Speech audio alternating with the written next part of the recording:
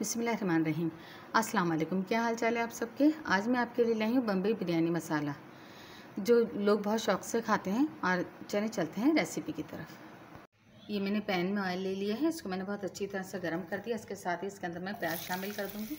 ये मैंने दो अदद प्याज लिए, इसको मैंने बारीक काट लिया है, ताकि बहुत अच्छी तरह से फ्राई हो जाए। इसको हमने गोल्डन ब्राउन करनी है प्याज को। गोल्डन ब्राउन करने से एक तो है ना कलर भी अच्छा आता है और टेस्टें भी अच्छी हो जाती है। ये देखिए, मैंने प्याज को ब्राउन कर रही हूँ उसको हमने ज़्यादा ब्राउन नहीं करना, हल्का ही ब्राउन रखना है। वैसे तो बिरयानी सभी शौक़ से खाते हैं। सौ में से नब्बे फ़ीसद लोग ऐसे होते हैं जो बिरयानी शौक़ से खाते हैं। कुछ पुलाव शौक़ से खाते हैं हमारे घर में, जैसे पुलाव ज़्यादा शौक़ से खाया जाता है। आप लोग मुझे ज़रूर बताइएगा कि आपके घर में बिरयानी ज़्यादा शौक़ से खाई जाती है या पुलाव। हमारे यहाँ ज़्यादातर पुलाव खाया जाता है और बच्चे का ज़्यादा पसंद किया जाता है बनस्बत चिकन के।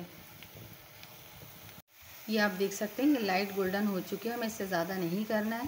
बस इसी उस पर हम इसके अंदर अदरक लहसुन का पेस्ट डाल देंगे मैंने दो टेबल स्पून जो खाने वाली होती हैं, वो लिए हैं। क्योंकि चिकन की बिरयानी में अगर आप थोड़ा कम भी अदरक लहसुन लें तो वो हो जाता है, लेकिन जब हम बीफ की बनाते हैं तो उसमें हमें बहुत ज़्यादा चाहिए होता है अदरक लहसुन, ताकि उसके स्मेल भी कम हो जाए। मैंने इसको तकरीबन दो से तीन मिनट तक भूना है, देखिए इसका बहुत अच्छा सा कलर आ गया, इसके साथ ही मैंने इसमें चार दर टमाटर को मैंने बारीक सा काटी है, वो डाल दूँगी इसके अंदर और इसको हम बहुत आहिस्ता आँच पे भूनेंगे ताकि बिल्कुल पेस्ट बन जाएँगे। ये देखिए, टमाटर बहुत अच्छी तरह से भुन चुके हैं। इसके साथ ही मैंने चावलों का पानी भी चढ़ा दिया गया, साथ ही साथ चावल भी उबल जाए मेरे। यह बहुत अच्छी तरह से गल चुके हैं टमाटर। इसके साथ हम इसमें सारे मसाले शामिल कर देंगे। मैंने एक चम्मच पिसी हुई लाल मिर्च का पाउडर लिया है। आधा चम्मच मैंने हल, हल्दी का लिया है। ये दो चम्मच मैंने बिरयानी मसाला लिया है, बम्बई बिरयानी मसाले का लिया है और एक चम्मच मैंने पिसा हुआ धनिया ले लिया है। इसके साथ ही मैंने दो बादियान के फूल लिए हैं, वो भी इसमें जाएँगे। और आधा चम्मच मैंने नमक लिया है, क्योंकि इसमें बिरयानी मसाले में भी होता है नमक और मैंने गोशों भी डाल के बॉयल किया हुआ है नमक डाल के, फिर हम इसको टेस्ट करके कमी ज़्यादा कर सकते हैं। अगर कम है तो फिर हम उसमें दोबारा शामिल कर लेंगे। अब हम इसको बहुत अच्छी तरह से चम्मच चला चला कर भूलेंगे हल्का हल्का पानी डालकर, ताकि बहुत अच्छी तरह से मसाला भुन जाए। ये देखिए, मसाला बहुत अच्छी तरह से भुन चुका है और मैंने पहले से ही गोश्त को बॉयल करके रखा हुआ था। ये मैंने आधा किलो गोश्त लिया है।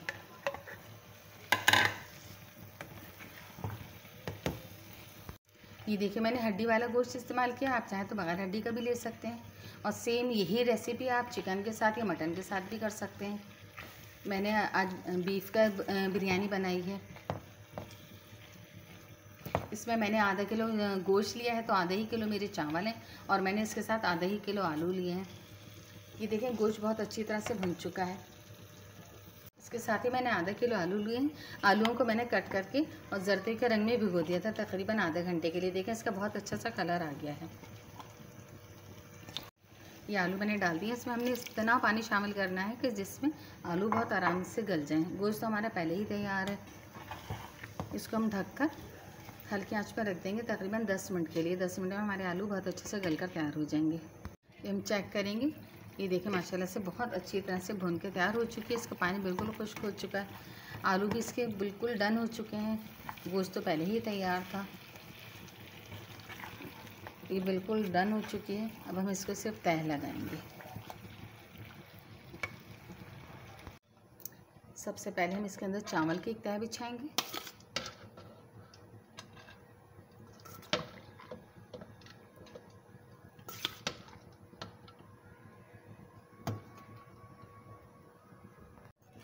इसके साथ जो हमने यखनी बना के रखी है, इसका मसाला हम डालेंगे।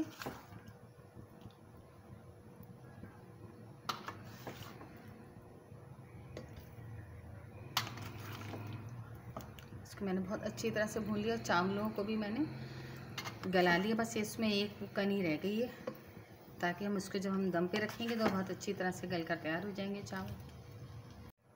हम दोबारा से चावलों की तरह इसके ऊपर डालेंगे।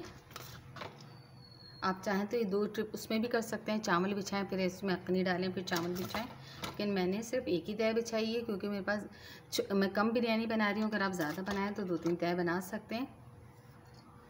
मैंने मैंने जैसे पहले बताया था कि मैंने आधा किलो चावल लिया और आधा ही किलो गोश्त और आधा किलो आलू है। मेरी तह लग चुकी है। इसके साथ ही मैं इसके अंदर सर्दी का रंग डालूँगी। ये ऑप्शनल है। अगर आप चाहें तो डालें और नहीं चाहें तो नहीं भी डालें। इसके साथ ही हम पुदीना डाल देंगे इसके अंदर। मैंने यखनी में नहीं डाला है मैं चावलों के ऊपर डालती हूँ ताकि चावलों पे भी बहुत अच्छी से खुशबू रहे इसकी। इसके साथ ही इसके अंदर मैं पौधी, हरा धनिया भी डालूँगी। इससे चावलों में बहुत अच्छी सी स्मेल हो जाती है। इसके साथ ही मैं दही डालूँगी। मैंने दही में नमक और ज़ीरा पाउडर डाला हुआ था। ये ऑप्शनल है, आप चाहें तो डालें, नहीं चाहें तो नहीं भी डालें। इसके साथ ही मैं इसके अंदर एक नींबू भी ऐड निचोड़ दूँगी ताकि इसका बहुत ही अच्छा सा फ्लेवर आ जाए। देखिए, मैंने इसमें सब मसाले शामिल कर दिए। अब मैं इसको ढककर तकरीबन 10 से 10 मिनट तक इसको दम दूँगी ताकि बहुत अच्छी तरह से बिरयानी तैयार हो जाए। ये आप देख सकते हैं, इसमें बहुत अच्छी तरह से भाप आ चुकी है। ये बिरयानी बिल्कुल डन हो चुकी है। अब मैं इसको आपको डिश आउट करके दिखाती हूँ। ये आप इसका फाइनल लुक देख सकते हैं।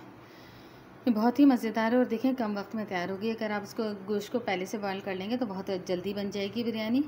अगर मेरी रेसिपी आपको पसंद आई है तो उसको लाइक करें, मेरे चैनल को सब्सक्राइब करें। अपना बहुत ज़्यादा ख्याल रखें, अपने दुआ में मुझे याद रखें। अल्लाह हाफ़